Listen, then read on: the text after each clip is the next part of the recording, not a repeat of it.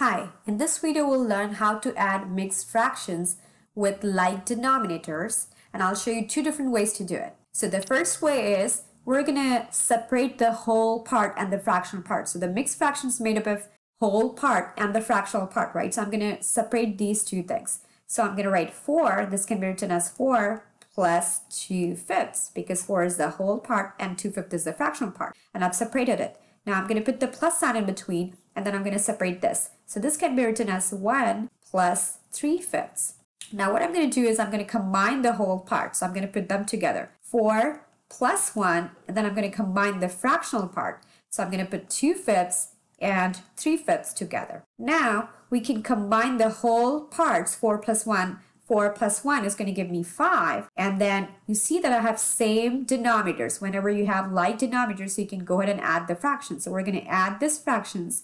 So 2 plus 3 is going to give me 5. Remember that when we have same denominators, we can just go ahead and add the numerators, right? So I'm going to add 2 plus 3 is going to give me 5, right?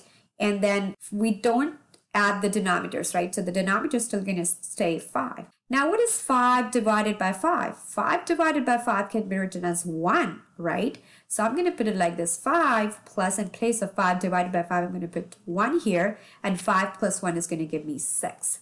So my final answer is going to be 6.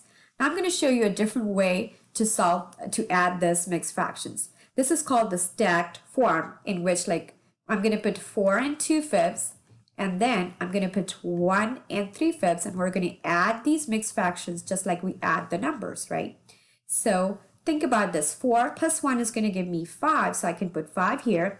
Now, how about 2 fifths and 3 fifths? If, if you have the same denominators, you don't have to worry about it. You can just go ahead and add the numerators, right?